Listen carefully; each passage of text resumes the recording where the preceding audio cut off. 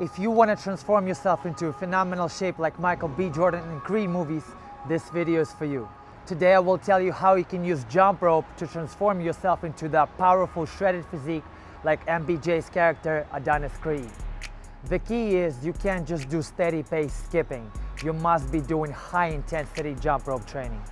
Today I will show you two different high intensity jump rope training methods. And I will also give you a high intensity interval training workout which you can start doing today and I recommend you do it consistently at least three times a week.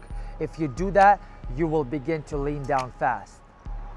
Okay, so the first exercise that I'm gonna show you is called high knees.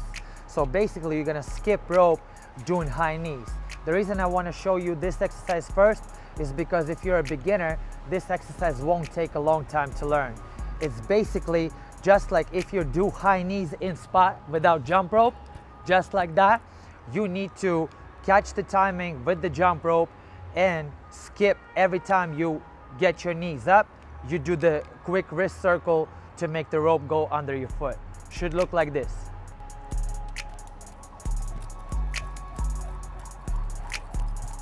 Once you get that down and you want to advance that, you can add crossovers to that to pick up the intensity and mimic Michael B. Jordan and Creed movie.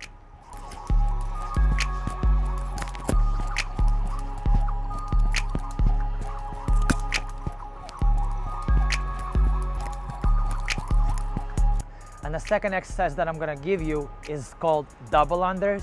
Basically, it's an explosive jump and every time your feet take off the floor, you have to spin the jump rope twice for the rope to go under your feet twice while you're in the air before you land again. It's an explosive jump and a quick spin of the wrist. You have to do it twice, use the momentum off of that, keep your elbows tucked in close to your body, and like I said, it's a flick of the wrist, and when you, you wanna create the momentum to spin that rope really fast twice every time you take off the floor.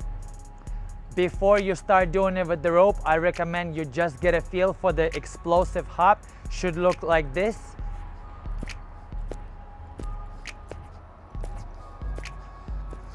So basically, when you do that, every time you take off, every time your feet take off the ground, your wrists need to do this. Pop, pop, twice. Pop, pop. All right? So everything together should look like this.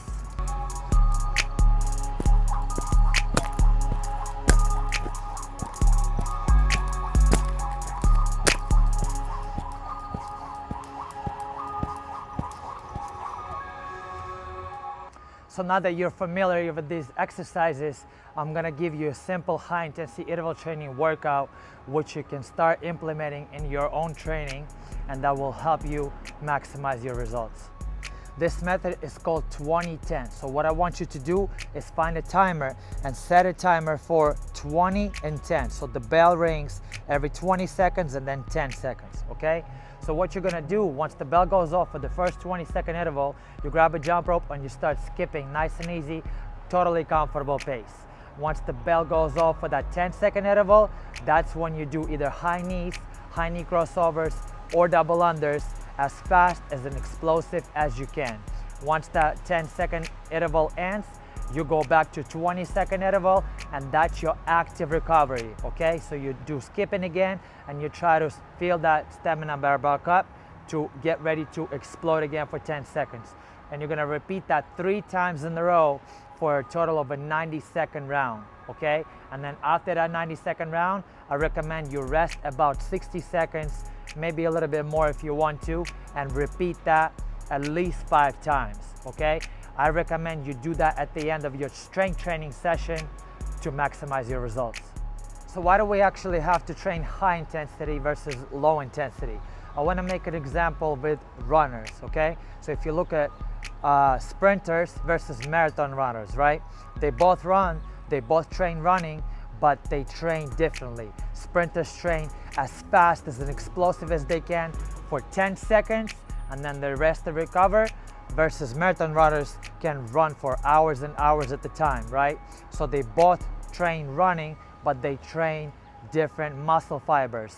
Uh, sprinters train what's called fast twitch muscle fibers, which is a strong and explosive muscles, bigger in size.